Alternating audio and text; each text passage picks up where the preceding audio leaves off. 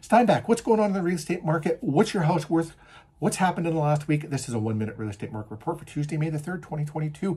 All data is from MLS. I'm Stephen Olyniuk, Remax Performance Realty. Currently, MLS is showing 24 houses on the market in Steinbach. Six came to market in the last seven days. Uh, five of the 24 are new builds. Currently, there are four pending sale and three that have sold. Two that sold above asking, one sold right at asking. A little bit of a shift in the real estate market. Been talking about it for a few weeks already in, in other parts of Canada. Noticing it in Winnipeg in the last week or so. Stuff is still selling in Winnipeg above asking price. And uh, well, I'm talking about Winnipeg because it usually comes out to the southeast next, selling above asking price, but noticing a few that are trickling through that uh, not selling on offers date. So then they're raising the price up uh, to match what it would be selling at offers date.